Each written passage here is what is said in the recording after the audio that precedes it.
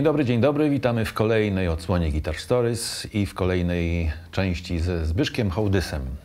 Niepokornym duchem. Dzisiaj chciałbym zahaczyć Ciebie o życie po perfekcie. Czy perfekt powiedziałeś, że istniał 2-3 lata, potem jakbyś odciął nożyczkami, czy kompletnie zająłeś się innymi rzeczami, zostawiając muzykę trochę z boku, trochę z tyłu?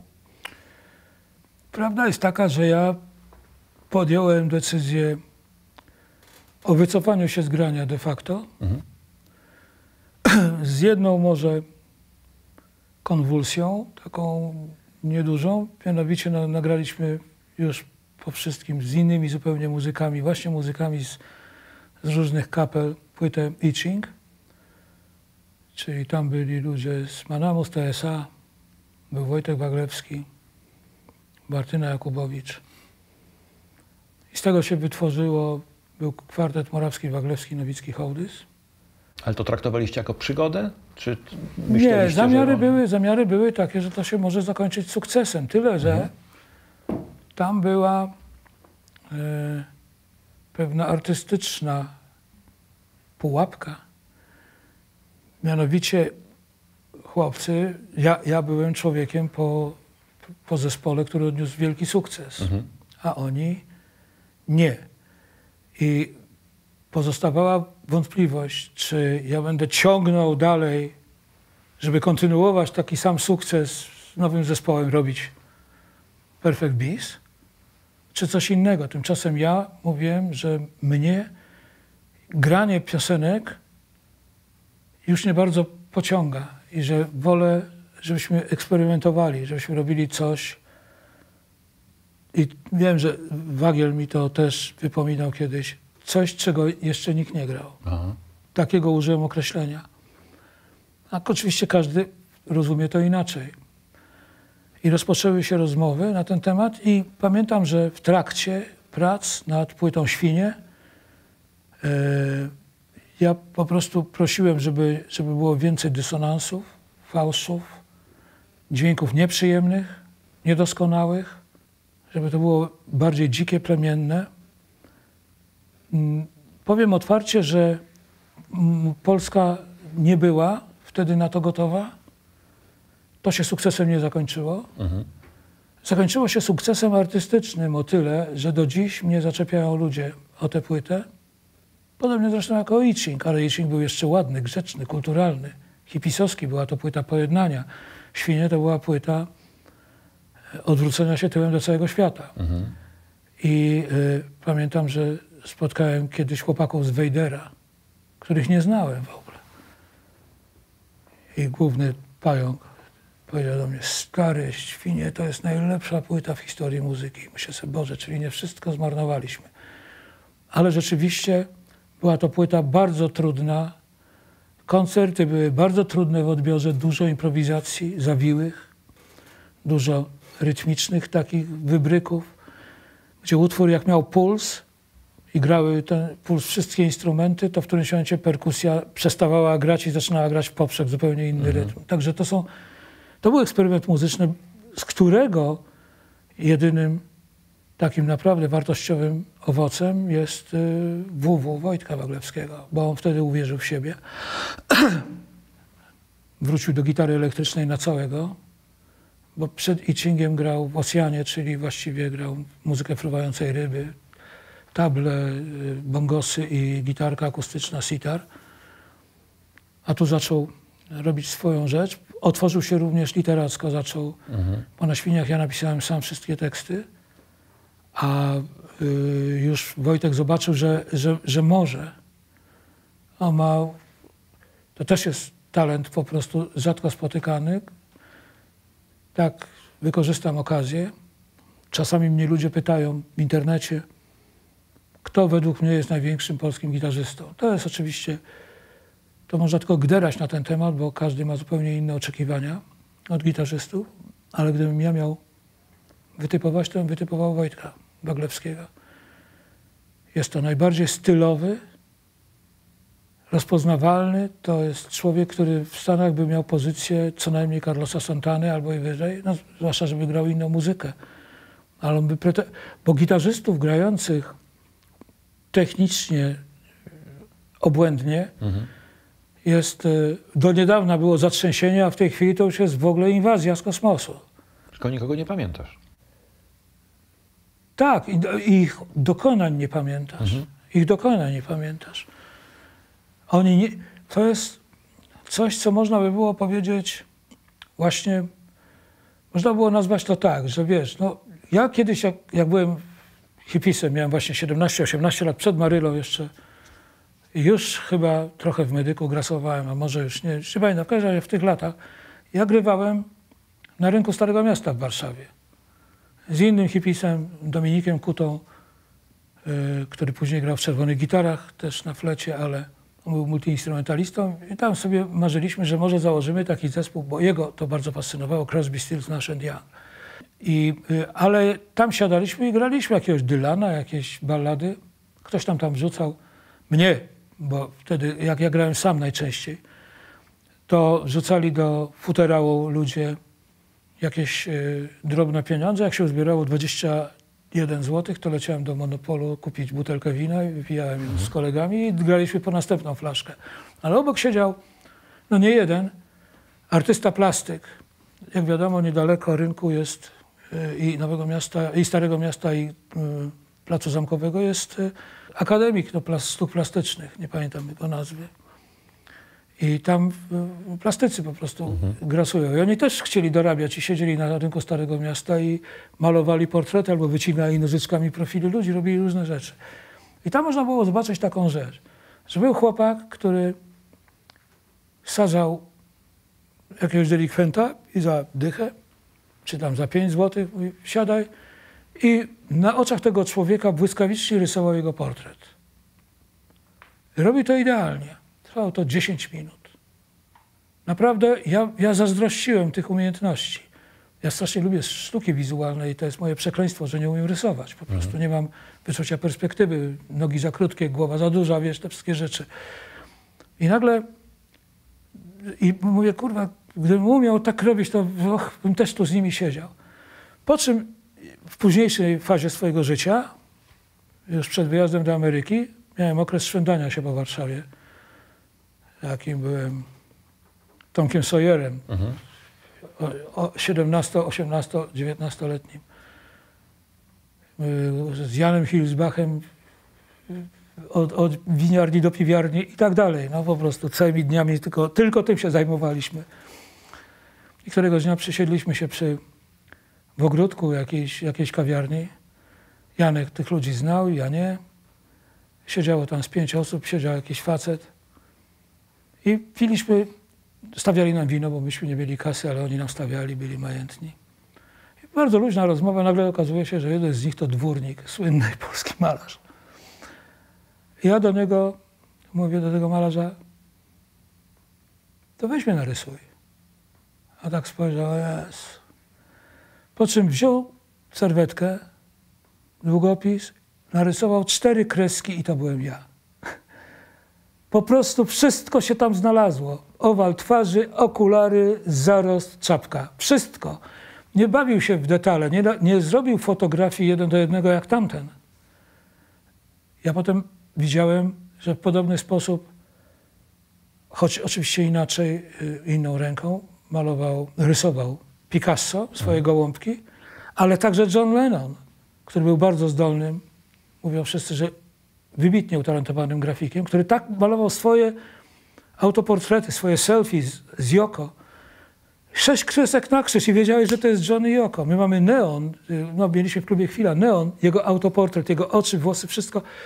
Naprawdę, to raz, dwa, trzy, pięć, siedem kresek i to prostych. I okazuje się, że to jest Lennon. Zresztą te jego grafiki z tamtego czasu są w tej chwili po 100 tysięcy dolarów.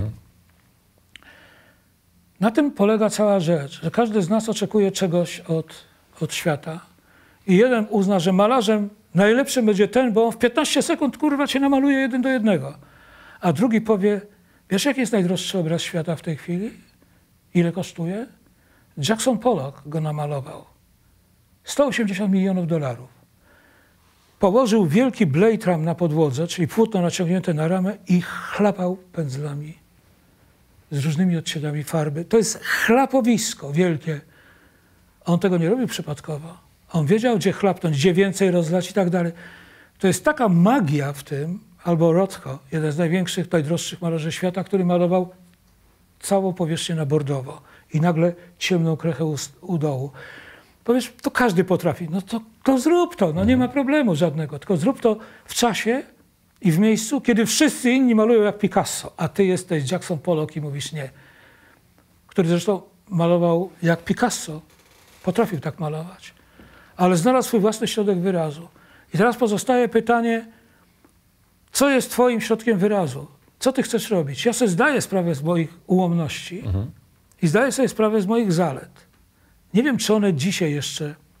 Musiałbym się skonfrontować, coś nagrać i wtedy by było wiadomo. I to się pewnie stanie, mhm. ale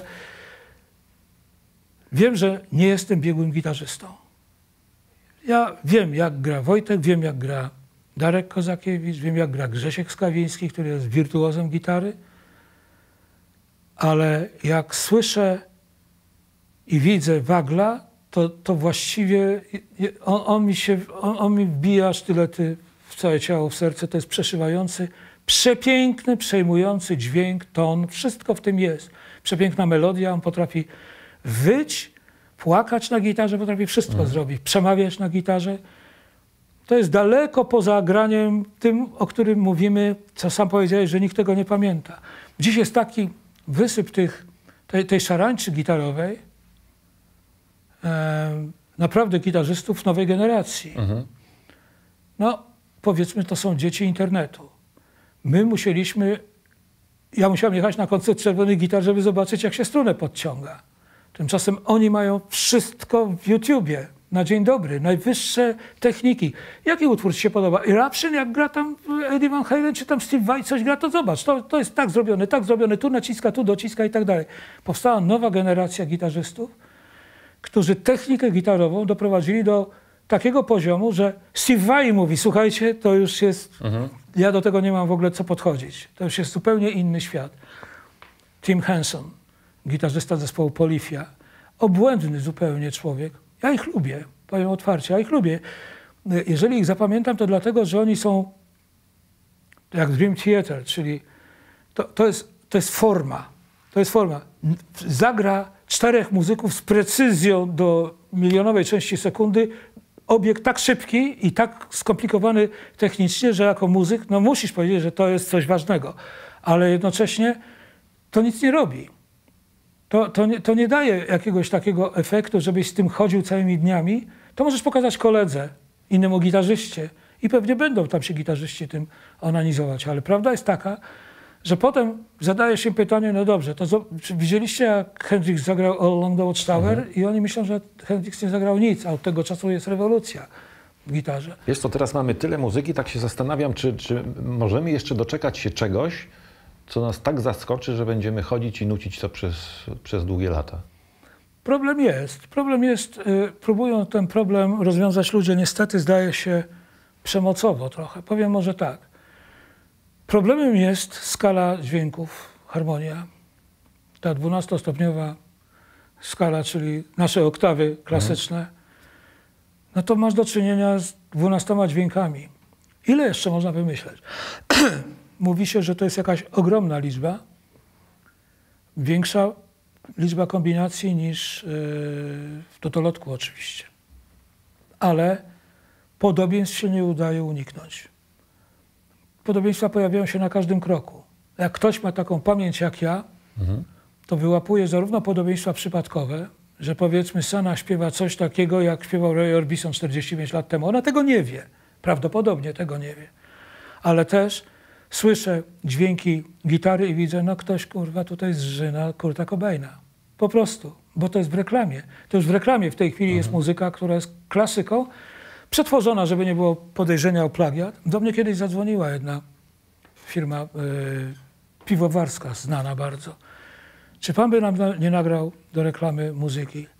Ja mówię, mógłbym, ale musiałbym się dowiedzieć o co chodzi i, i, i tak dalej. No taka jak Nothing Else Matter, Metaliki. Mhm. I ja mówię, ale co? No taka, no tylko żeby się nikt nie skapował, żeby nie było mowy o plagiacie. Ja mówię, to dziękuję bardzo.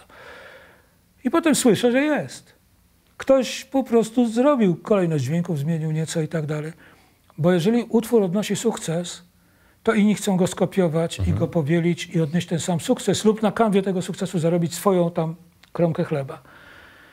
No to właśnie czasy, o których ja mówiłem, lata 60., kiedy byli Beatles, zespoły, które wymienię, Beatles, Animals, Rolling Stones, Kings, Hollies, Dave, Dave D. Dozy, Bicky, Mick and Titch, tak się nazywał zespół, miał sześć nazwisk, imion w nazwie. Wszyscy grali inaczej. Loving Spoonful, Hot Town, Summer in the City. To, to był szok, jak myśmy to słyszeli. I wtedy pojawia się Hendrix, który gra Hey Joe i to już w ogóle jest inna para kaloszy, wiesz. I za chwilę po Hendrixie, a tu Beatlesi cały czas prowadzają symfoniczne orkiestry. Codziennie dostawałeś w mordę wynalazkiem cudownym. Mhm. Genialnym pomysłem. Mogłeś, nie, nie, nie mogłeś być fanem jednego y, nurtu czy jednego człowieka. Mogłeś się zakochać w piosence, za chwilę ktoś inny ci przyniósł inną piosenkę i się w niej zakochiwałeś. To się działo permanentnie. Dziś ludzie się nauczyli, że jesteś metalowiec, czy jesteś to? Pierwsza definicja. Kim jesteś? Czego słuchasz? To jest pierwsza. Mnie jak pytają, czego słuchasz, to ja już mówię ludziom, że słuchajcie, ja już nie słucham gatunkami muzyki od, od kilkudziesięciu lat. Po pierwsze słucham niektórych artystów, którym wierzę, bo wiem, że już mnie nie rozczarowali, więc hmm. zawsze będę uczulony na to, że co ten teraz zrobi. I na przykład zaskoczę może wszystkich, że Kanye West jest kimś takim. Po prostu. Albo Eminem jest kimś takim. Z dziedziny, której ja w ogóle nie uprawiam. Tam są tak muzycznie fascynujące pomysły w tym zawarte i mimo, że rap wydaje się asfaltem na jezdni, tak, że zawsze jest jednakowy, nieprawda. Tam jest mnóstwo różnych rzeczy. Bardzo lubię Rihanna, mhm. to mówię otwarcie. I doceniam po prostu wielki talent Ariany Grande, która skalą wszystkim wywija i tak dalej, ale też kompozycje już, już nie pamiętam. To już bardziej pamiętam Celine Dion z Titanica, wiesz, to jest, bo to jest jakaś kompozycja, która się wdarła, zresztą nie tylko w moją głowę, to po prostu wszyscy to zauważyli. Więc to jest trochę jak z Coca-Colą i innymi napojami. Produkuje się tego tysiące odmian ale zawsze wiesz, jak wygląda Coca-Cola. Jest jakiś punkt odniesienia, jest jakaś latarnia morska, do której wszyscy mhm. próbują dopłynąć. I y, z gitarzystami ja jestem pełen podziwu dla... Ten Tim Henson rzeczywiście robił na mnie wielkie wrażenie.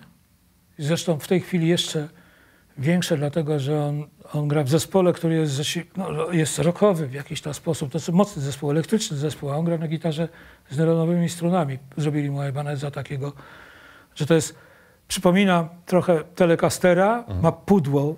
To jest, to jest yy, no, wyrzeźbione, wydłubane pudło. Ono ma rezonans, nie jest to decha. I on gra na tym palcami, ale na różne sposoby i kostką. A u nas jest ten Marcin Patrzałek, który dopiero w tej chwili robi na mnie wrażenie, bo po prostu już spojrzałem, widzę, że ma kontrakt z amerykańskim Sony, jeździ po całym świecie, gra wielkie koncerty, jest gwiazdą festiwali. On ma jedną zaletę, która jest moim zdaniem niezwykle... No, pomijam to, że jest ładnym chłopcem, co, co w show biznesie sprzedawalnym ma znaczenie, ale znaczenie ma jedna rzecz – piekielnie widowiskowy. On to robi z taką lekkością, tańczy tą gitarą, wywija i naprawdę przypierdala nieprawdopodobnie. Ale on wyznacza inny, tu, tu nie ma rozmowy o bluesie, o, o, o solówce do Stairway to Heaven. To w ogóle mhm. jest inny świat. To jest zupełnie co innego. Jednoosobowa orkiestra. Jeśli chodzi o Tima Hensona, to tylko powiem tyle, że jego zespół Polifia to jest zespół, który się składa dwóch gitarzystów, basisty i perkusisty i to są wszystko wirtuozi na poziomie jeszcze wyższym niż Dream Theater. Mhm. No, nie wiadomo, jak to szacować. Steve Vai zagrał u nich gościnnie.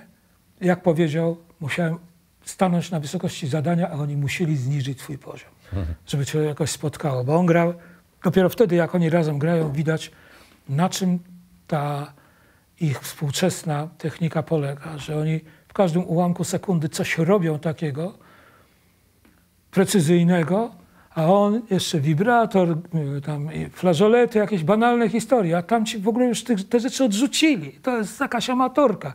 Wiadomo wiele dalej. Więc tu pozostaje kwestia właśnie do, do y, przyjęcia gustu y, jako, jako głównego miernika. No, do mnie przemawia Wagiel, którego poznałem jak Wagiel miał 16 lat, ja miałem chyba 18 czy 19, między innymi jakaś taka jest różnica dwóch lat. I on się zawsze fascynował tym, co mnie również fascynowało, czyli zespołami Bloodwind Peak, Kenneth Heat, Cream, takimi, gdzie gitara odgrywała dużą rolę jako instrument nie, nie popisowy, tylko niosący wiadomości. Taki. No, ja nie umiem tego inaczej nazwać, także wybacz mi, że... Ale wspomniałeś jednoosobowa orkiestra i też od razu mi się wyświetliłeś ty, bo ty jako pierwszy nagrałeś Tak, wszystkie instrumenty w studio, nie? tak, ale no, to, to, to było yy, no, zawadiackie. Czterośladowy magnetofon, to już od razu mówi wszystko.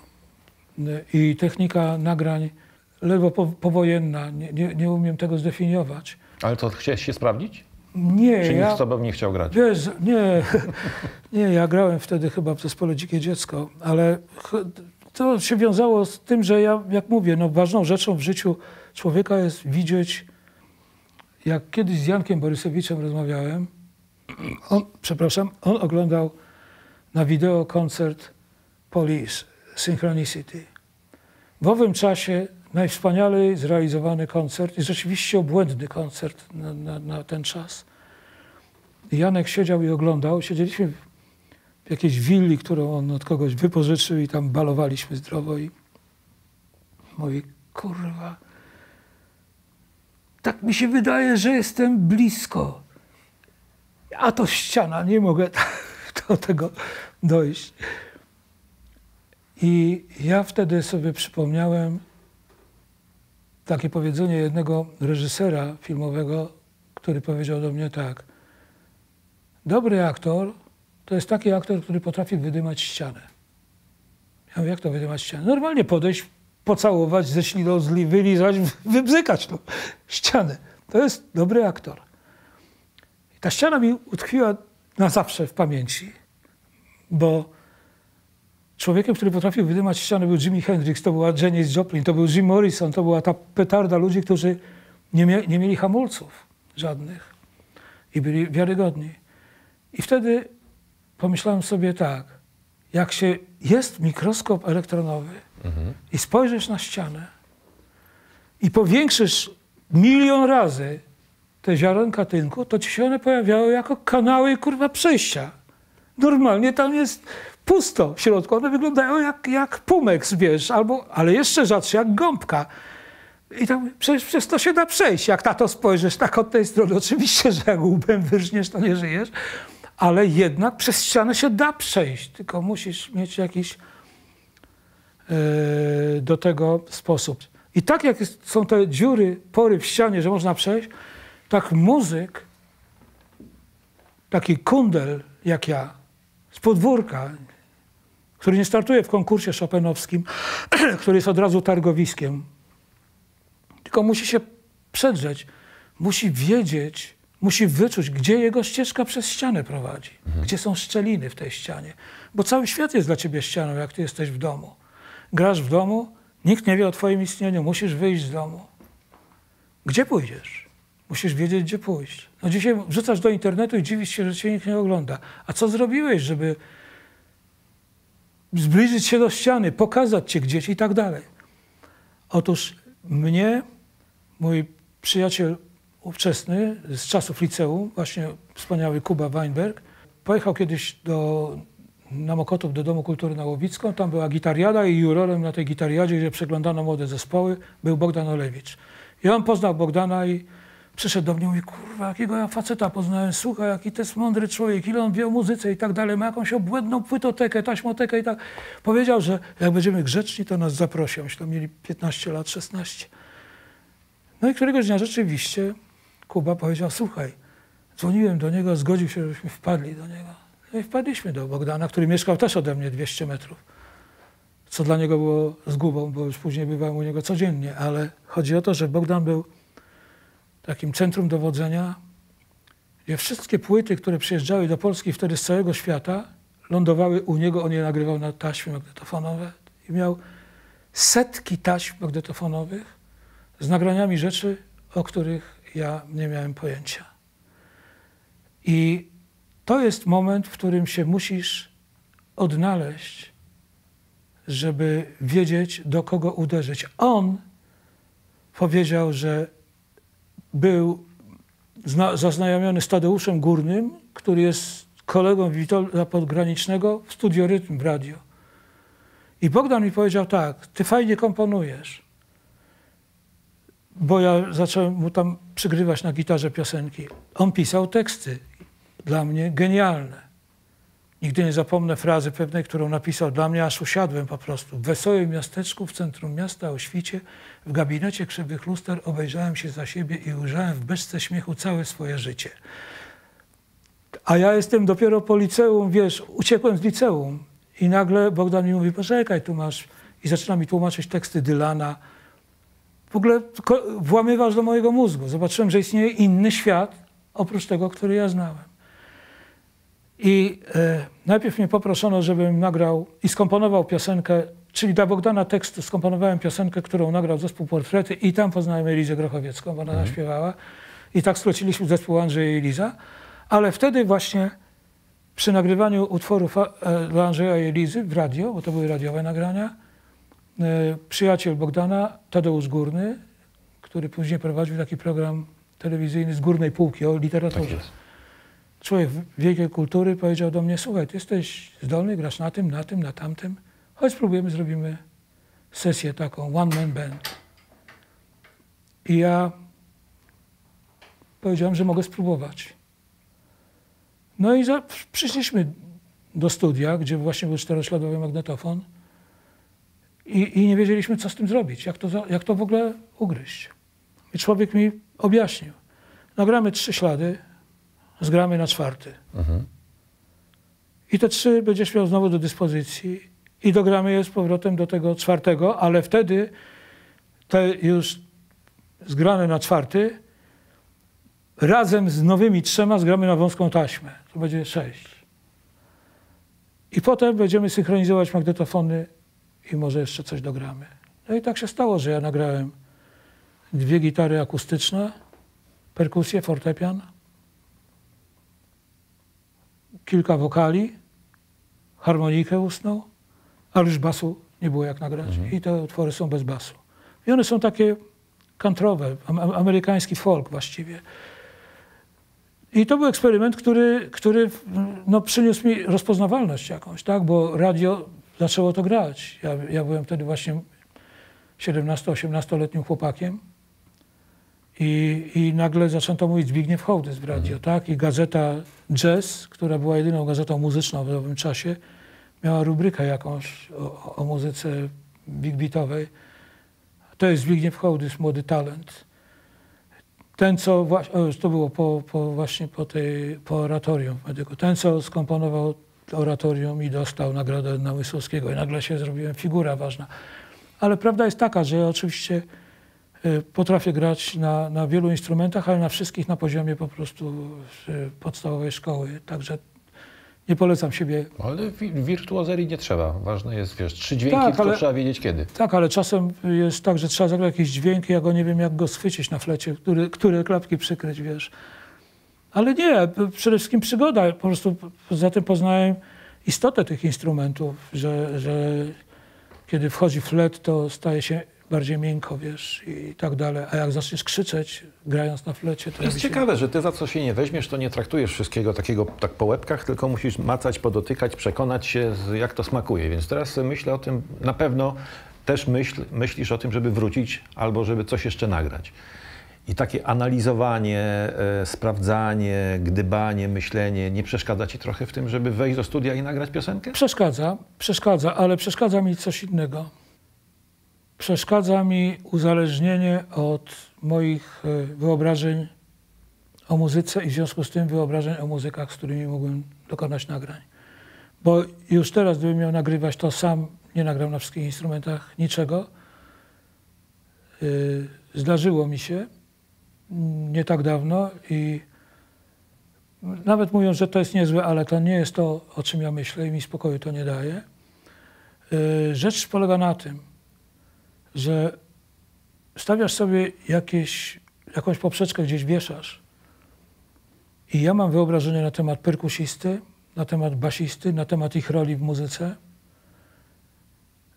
I na, na, na temat tego, jakie wrażenie ma ta muzyka zrobić. I ja nie znajduję tych ludzi na, na rynku polskim. I to jest w jakimś sensie nie tyle moja wina, ile moja wada. Dlatego, że jak ja się wychowałem na muzyce bluesowej, słuchałem bardzo dużo właśnie John Lee Hookera, czy, czy Johna Mayala, czy innych ludzi, i tych, co ci wymieniałem, Creamów i innych, to ja nie spotykam dzisiaj ludzi, którzy mają ten sam background. Mhm. Jak rozmawiam z młodymi muzykami, to mówię, a wy gracie improwizacje jakieś? No jak ustalimy. Aha. Na czym polega ustalenie? No mówimy, że gramy tam 16 taktów ten gra solo, ale z reguły mamy je opisane dobrze. Solo jest powtarzalne, czyli nie ma pojęcia improwizacji. Nie ma tego wszystkiego, co w mojej muzyce było największą wartością, czyli emocjonalności. I dziś myślę, jak słucham y, dzisiejszych y, wielkich gwiazd, są bardzo utalentowane. Tak twierdzę, że Dawid Podsiadło jest bardzo utalentowany. Bardzo utalentowana jest niewątpliwie właśnie wspomniana Sanach. Ludzie mogą mieć różne gusta, mogą lubić lub nie lubić, ale w tym nie ma czegoś takiego, czego ja bym w muzyce oczekiwał od rana do wieczora. Nie ma właśnie, nie ma Janis Joplin, mhm. nie ma Brandy Lee, nie ma Harkotu Joe Cockera, nie ma krzyku, nie ma śmiałości, tupetu, buntu, nie ma Erika Bardona z Domu Wschodzącego Słońca, który po prostu miał głos żula z bramy. I nie chodzi o to, że to jest gloryfikacja żula. To był autentyk. To jest autentyczny człowiek. Wszyscy inni dzisiaj... Oglądam sesję e, Billie Eilish. Ona mhm. nagrywa w mieszkaniu. Trochę mnie to wstydzi, bo ja mam taki sam system komputerowy do nagrywania jak ona i ona nagrywa w mieszkaniu, a ja nie. Tylko z tym, że ona ma genialnego brata.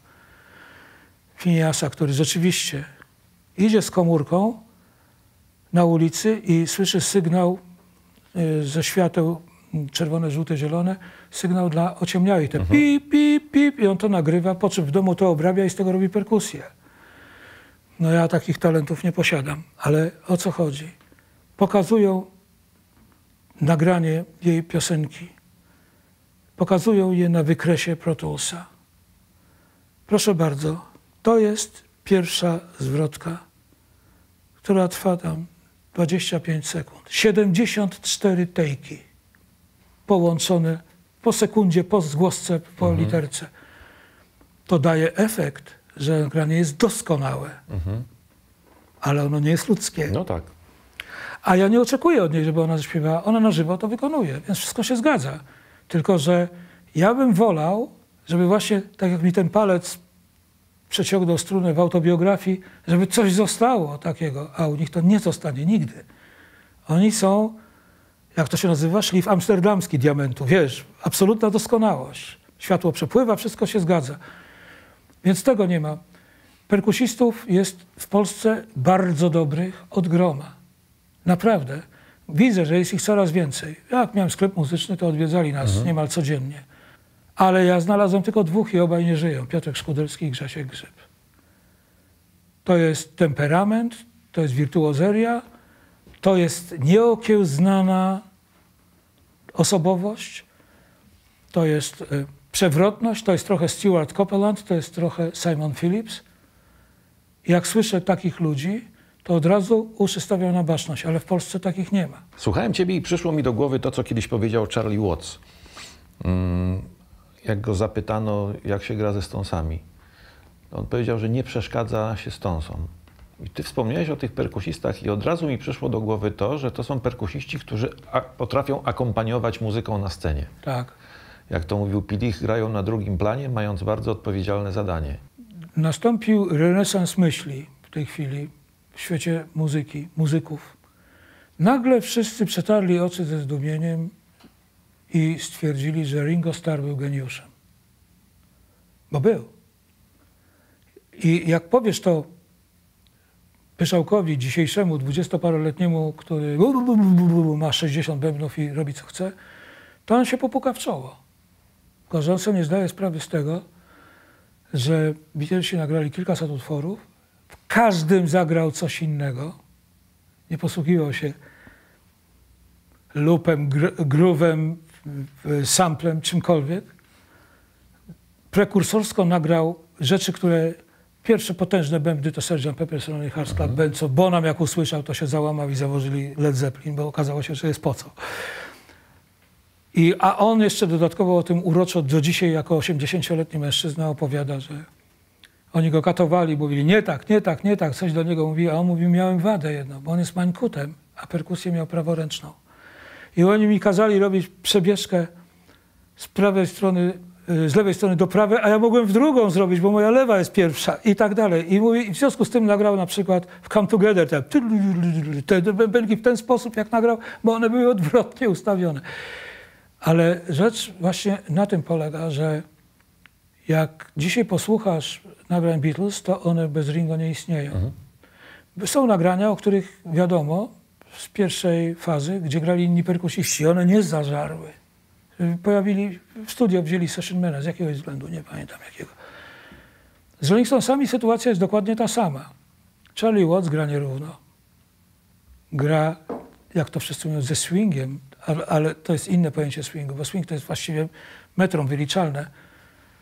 A on grał w taki sposób, że to wszystko się kołysało. I na komputerach nazywamy to shuffle, tak? Że, że muszą lekko rozregulować bębny, żeby to zaczęło po ludzku wyglądać. E, ci ludzie, o których ja mówię, zarówno Grzesiek Grzyb, jak i Piotr Skudelski, którego śmierć chyba w zeszłym roku, no Wstrząsnęła wszystkimi. nieoczekiwana, a ja z nim utrzymywałem kontakt i namawialiśmy się, że coś zrobimy razem. Za młody był, żeby odejść. Otóż oni mieli jedną cechę bardzo ważną. Byli po pierwsze samoukami. To powoduje, że nie mają obo, obligo, obligo, obowiązku grać jakoś, jak im ktoś kazał. Dwa, byli potwornie muzykalni. Sami z siebie. Piotrek, mogłem z nim śpiewać.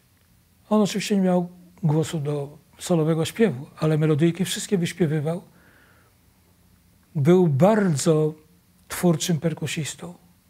Potwornie twórczym. I jak mu rzuciłem zadanie, które wydawało się karkołomne, to on je w sekundę opanowywał, grał i robił z niego o wiele lepszą rzecz niż, niż ja myślałem, że można zrobić. I to samo było z Grześkiem. Grzesiek e, Grzyb przypominał mi Mitch Michela z czasów Jimmy'ego Hendrixa. I to mamy właśnie to, co, o czym rozmawialiśmy tam dwa odcinki temu. Że oto masz wirtuoza gitary, który jak gra solo, a basista jest bardzo sprawny, bo to jest gitarzysta solowy, który gra na basie, Noel Redding, ale, ale jednak jest basistą i gra jakieś ustawione figury, to perkusista robi coś takiego, że nie czujesz ubytku gitary rytmicznej. Bo Hendrix już na niej nie gra, bo gra solo. To jest taki koci, kocie polowanie na mysz. Oni to robili cudownie. Cudownie, obydwaj. I ja, nie, ja widzę muzyków, którzy cię zapytają, co, wyprzedzisz szesnastkę, zrobisz to, może tu triole, operują, jak- jakby, niech mi pan poda klucz francuski szóstkę, wiesz, siódemkę, ale nie, nie mówią ci, nie oferują ci czegoś, co może wywrócić utwór nawet, ale dać mu świeżość. I ci dwaj tacy byli. I to mnie bardzo paraliżuje, dlatego że utwory, które mam w głowie, wymagają takiego nieokiełznanego grania. Wszyscy są zbyt formalni dzisiaj i ja tego słyszę za dużo. Ja naprawdę słyszę znakomitych perkusistów y, i widuję ich na ekranie telewizji i widuję zespoły, które mają różnych znanych, także gitarzystów, co niemiara. Ale to jest wszystko, ci są wyjęci z tej szafy, ci są wyjęci z tej szafy. Ja, Im jest dobrze w tych szafach. To nie jest tak, że ja jestem zbawcą ich losu. Oni mogą mieć rację, nie chcąc w ogóle myśleć o takiej muzyce jak ja, bo pewnie by ją grali, gdyby myśleli. Oglądam czasami ten Polish Metal Alliance. Cz- Gitarzystów, całe stado jest ich tam. Słyszę, że jest jakiś chłopak chyba z zespołu Nocny Kochanek. Bardzo dobrze śpiewa. Śpiewa jak Deep Purple. Ale w tym Nocnym Kochanku śpiewa jeszcze jakoś inaczej. To ja słyszę, że jest jeden wokalista w tej chwili w Polsce, to jest ten Igo, mhm. no, młode, młodego pokolenia. On ma w prezencie od natury dostał barwę głosu, która jest po prostu za, za, zabójcza. Tak, tak, Jest, jest cudowna. Zupełnie mało tego, cudownie nim operuje. Naprawdę daje radę. To są perły. Wiesz, to jest takie coś, jak szukasz wokalisty i myślisz tak, bo Grzesiek Markowski jest znakomitym wokalistą. To w ogóle do naszego zespołu pamiętam dzień, kiedy on przyszedł na próbę, bo to był chyba trzeci lub czwarty człowiek, który tak przyszedł. Chcieliśmy zobaczyć, co się stanie i y, dostał kasetę z nagraniem utworu, nad którym pracowaliśmy. Y, miał się pojawić za tydzień, czy za kiedy wiedział, że próby są codziennie. Pojawił się chyba następnego dnia i kiedy myśmy ten utwór zagrali, a on go zaśpiewał, to nam po prostu wszystko zło odeszło, bo zjawiło się to, o czym można marzyć, alchemia, czyli jego głos się wkomponował w brzmienie naszych gitar. Bo wiesz, siedzieliśmy w tej kanciapie w stodole. Ja grałem na jakimś wzmacniaczu Piweja, e, Rysiek na jakimś Fenderze chyba Twinie, bębny Szpaderskiego, Zdzisiek miał nieduży wzmacniacz akustik takiej firmy amerykańskiej i, i, i grał na tym basie. I myśmy tu robili głośniej, ciszej, trochę przesterta. Sami się układaliśmy w tego mhm. I nas to brzmienie zaczęło rajcować. To nasze brzmienie, to ono się jakoś wyklarowało. Nikt nie wiedział, co zrobił, jaką gałkę na ile przekręcił. To w ogóle nie wchodziło w grę. To jakoś się samo ułożyło. To jak do snu się ułożysz, mhm. bo kurwa są takie warunki, to tak śpisz. I to przyszedł i zaśpiewał, jakby był od urodzenia w tym zespole. Ta barwa po prostu weszła jak w masło to ja wiem, że wiesz, gitarzystów, nie gitarzystów, tylko wokalistów na mm, moje oczekiwania, takich wokalistów, co, co głos traktują jako no, narzędzie zbrodni, no to było w Polsce co? No, niewątpliwie był Czesław Niemen, był niewątpliwie Rysiek Riedel. I tu już byśmy musieli zacząć powoli hamować. Był właśnie mhm. Grzesiek, był może Marek Piekarczyk dla wielu ludzi. I, i cześć. I, I reszta są bez obrazy piosenkarze ładnie śpiewający ludzie i tak dalej, ale bez rozdartego serca, wiesz, bez, bez skowytu w głosie, bez, nie wiem, bez eksplozji. Ja pamiętam, że kiedy y, Perfekt już powstał i już Grzesiek właśnie był i na próbach już uczestniczył w tym wszystkim, on miał ogromny potencjał i aparat głosowy, taki od natury dany, rzeczywiście nuklearny, a, a jednocześnie nie miał no nie miał wiedzy po prostu, mhm. co można z tym zrobić. To ja mu puszczałem nagrania u niego w samochodzie, w Trabancie. On miał kasetowiec, ja mu z kaset odpalałem. Na przykład Rogera Daltreya z zespołu The Who, który się jąkał w utworze My Generation. I ja mówię, to można robić. Zobacz, on się jąka, ty, ty, ty, ty, zacina się. To można robić. Potem upuściłem, jak on w utworze Free Me rozdarł się tak, że, że Grzesiek się rozpłakał właściwie, jak usłyszał to. Wtedy dopiero zrozumiał, że też się może rozedrzeć i zaśpiewać te nuty, które są już poza krawędzią jego, bo on jest taki, ja jestem tenor, on jest taki baryton tenor. Mhm. Niektóre nuty, które są wygodne dla gitarzysty, czyli w tonacji A, jak grasz, to dla niego są za wysoko, ale dostawał je w prezencie, musiał je śpiewać. To się Y, denerwował, że czasami mu się głos załamuje. Nie, właśnie nie bój się tego, niech to się dzieje. I tak się przełamywał i zostawiały, zostawały te rzeczy. To tak operujących wokalistów nie ma, bo dzisiaj tego, co słyszę, to wszyscy chcą bardzo ładnie śpiewać. I, i, i koniec. Zresztą, bo nie takie są oczekiwania. Może taka jest i publiczność, że oczekuje głaskania, wiesz, y, ładnego wyglądu i tak dalej. My jesteśmy... to też wydaje mi się, że to, to trywialnie zabrzmi takie czasy. Kiedyś y, zwracaliśmy uwagę na wyjątkowość, a dzisiaj mam wrażenie, muzyka trochę jest taka, żeby właśnie nie przeszkadzać. No tak, tu, tu już w ogóle wiesz, to są rejony, że, że możemy popłynąć bardzo daleko, ale nie chcę cię mm, zmuszać do cierpienia w mojej obecności za długo. W każdym razie Wiesz, jest taki moment w historii muzyki, który ja przyjmuję jako zamach stanu na muzykę. Jako, jako taki udany zamach stanu, niestety, jak zamach na Kennedy'ego. Mhm. Zapowiadało się dobrze. Ja byłem świadkiem tego w Stanach Zjednoczonych akurat w 70 1966 roku. Tam eksplodował człowiek, który w Polsce nie zyskał chyba jakiejś wielkiej popularności. Nazywał się Peter Frampton. To był wcześniej lider zespołu Heard, który mi się bardzo podobał. I to był gitarzysta, który z różnych względów stał się idolem dziewcząt. Blondyn o ślicznej twarzy, z długimi włosami, gitarzysta, śpiewający i grający na gitarze. I ten Peter Frampton nagrał zdumiewającą płytę, która, której tytuł brzmiał Peter Frampton Comes Alive. Jak się okazało, on z różnych względów, raz, że był, jak mówię, idolem, gazetki młodzieżowe o nim pisały, ale utwory ludzie zaczęli rozpoznawać dopiero wtedy, kiedy ta płyta wyszła, bo one się stały hitami. A była to płyta nagrana na żywo. Z tego, co e, się potem dowiedziałem, on to zarejestrowali chyba dwa czy trzy koncerty i zmontowali z tych dwóch, trzech koncertów właściwie i, nie wiem, czy jednopłytowy, czy dwupłytowy winylowy zestaw. Chodzi o to, że on tam błysnął e, tym urządzeniem Talkbox, mhm. rura w usta i, i gadał.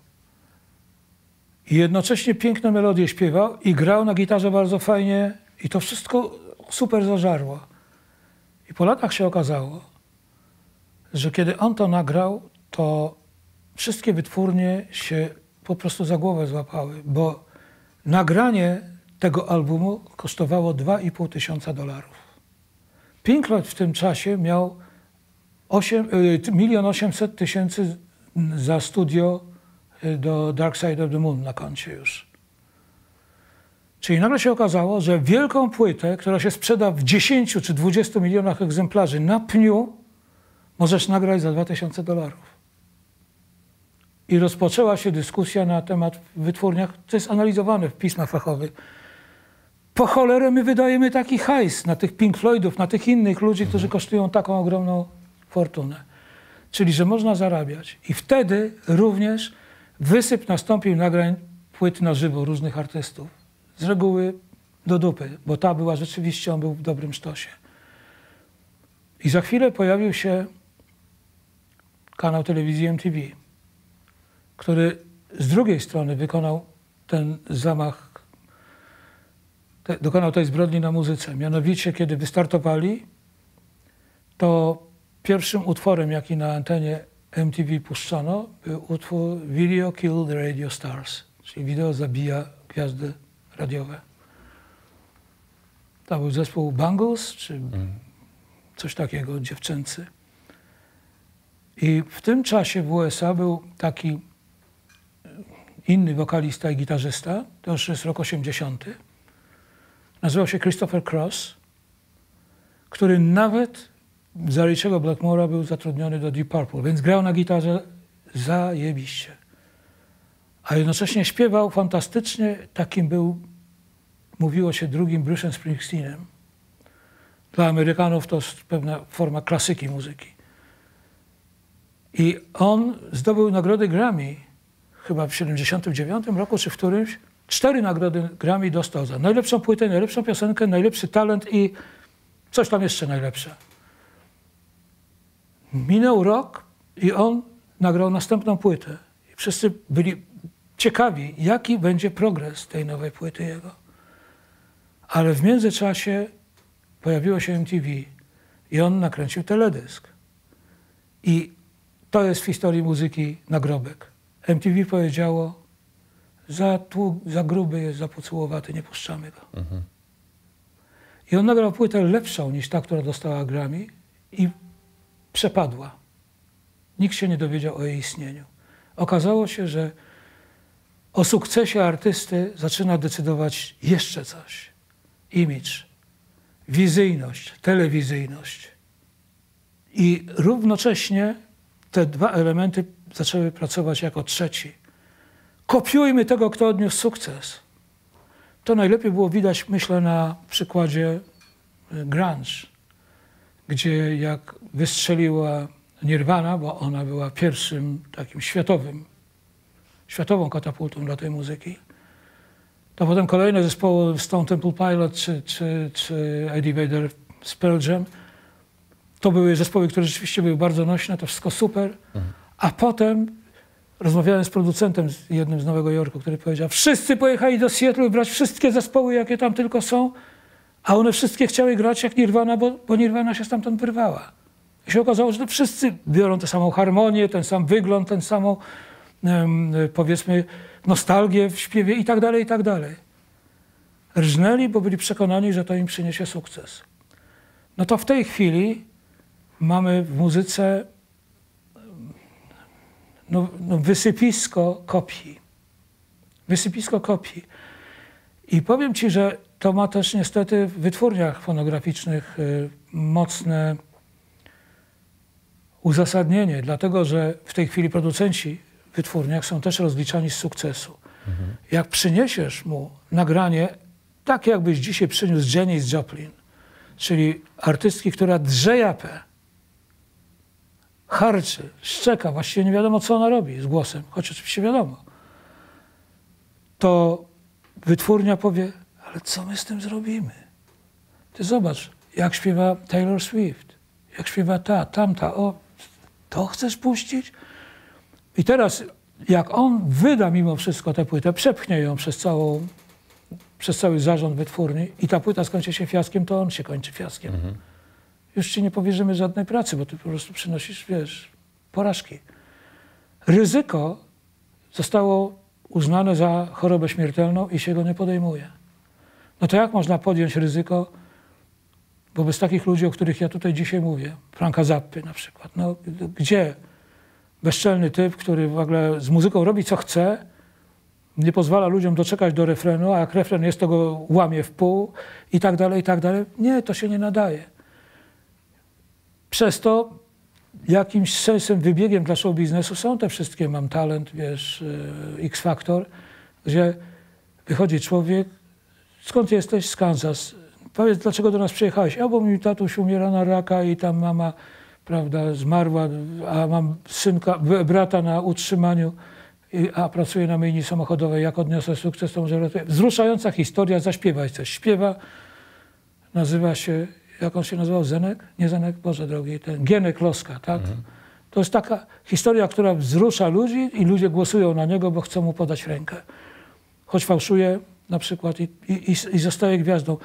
W USA jeszcze te gwiazdy rzeczywiście toczą potem jakieś boje. Uzyskują jakąś karierę, jak e, ta Jennifer Hudson. No, rzeczywiście do czegoś dochodzą. W Polsce właściwie chyba Podsiadło wygrał jakiś program jeden. A nie, nie wiem, czy Podsiadło wygrał, w każdym razie Bednarek, ale też już gdzieś przepadł. No, no nie, ma, nie ma tego mechanizmu, który istniał w sztuce kiedyś, że siedzieli ludzie mm, w wytwórniach filmowych i mówili dajcie mi scenariusz zajebisty, historię, czyli muzykę, pomysł. Jak to dacie, to znajdziemy aktorów, ale najpierw mhm. wiesz. Dzisiaj przychodzą ludzie, mówią, nakręcimy film, a jaki? No, weźmiemy Wieniawę, bo ona ma 3 miliony y, subskrybentów na Instagramie. O, to robimy film z nią. A jaki? Wiesz, bo przyjdą ludzie, bo, są, bo ona ma tylu fanów. No to są patologie. Ktoś kiedyś powiedział, że pieniądz jest największym grzesznikiem, tak? Pieniądz jest oczywiście pokusą taką, która i mnie wyrwała z, z bloku, z, z podwórka, z ławki w parku, z klubu medyków i tak dalej, z różnych miejsc. Chciałem odnieść jakiś sukces, marzyłem, że, że mi się to uda. Udało mi się. Ten sukces był niebotyczny w owym czasie. Ale i udało mi się, myślę, mimo wszystko zachować swoją twarz jako artysta i jako człowiek.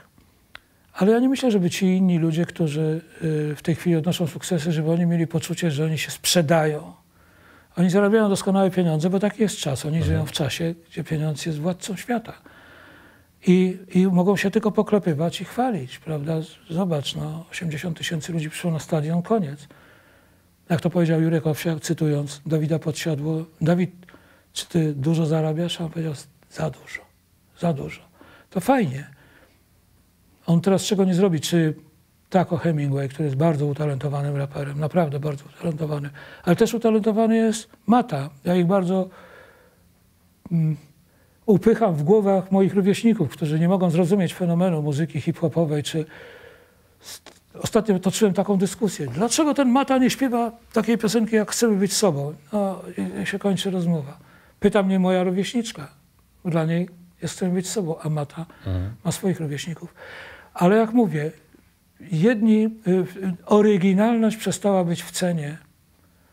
To samo widać w kinematografii światowej, którą się Tytus interesuje. Rzeczywiście do Oscara pretenduje mnóstwo filmów, a potem się okazuje, że jeden czy dwa są takie, co przechodzą do historii. A kiedyś miałeś pięć, walczył, wiesz, lot nad kukułczym gniazdem z, nie wiem, Gwiezdnymi Wojnami, z czymś tam jeszcze i tak dalej, z taksówkarzem. Każdy z tych filmów był mega projektem. No, tak gitara też przeżywała wzloty i upadki. Wydawać by się mogło, że jest renesans gitary teraz. Mam rację, czy, czy, czy nie, niekoniecznie? Ja nie potrafię tego powiedzieć, bo nie mam w tej chwili sklepu muzycznego. Kiedyś był taki moment, że, że sprzedawaliśmy jakieś obłędne ilości gitar. To był właśnie, myślę, czas Metaliki Nirwany. Wszyscy chcieli grać tak jak Kurt Cobain albo jak Metallica. I, I dobrze, bo uważam, że to jest y, pasja, która może wyciągnąć człowieka z y, bramy na Ursynowie, żeby nie stał z baseballem w ręku i nie czekał na kogoś, tylko niech się zajmie czymś twórczym. Podobnie jak nagrywanie hip-hopowych kawałków w domu. Ale y, potem się okazało, że no, Casio wjechało z tymi swoimi samogrającymi urządzeniami i wszyscy rodzice uznali, że ich dzieci tym się powinni zająć, jak, jak in, tym się powinny zająć jako zabawką, tak? I to też jest dobre. No gitara jednak wymaga pracy, Casio nie. Jest, Czyli jednak zatoczyliśmy koło do krakowiaka. no tak, trzeba, trzeba to powiedzieć. I co chcesz, żebym coś o gitarze I w, powiedział? Ka- w Casio to byś miał krakowiaka jeszcze teraz z perkusją. I to takim perkusistą, który nie ma ludzi, wiesz? O, Kasy nie żąda nic, nie pije w ogóle, wiesz? Nie masz z nim żadnych problemów. o gitarach porozmawiamy już niebawem. Zbyszek Kołdys jest z nami. Do zobaczenia. Z nami w Guitar Stories mam jeszcze przygotowane dwa, no w porywach trzy pytania, ale do tego potrzebujemy kolejnego odcinka. A ten już niebawem. Trzymajcie się do miłego. Bye bye.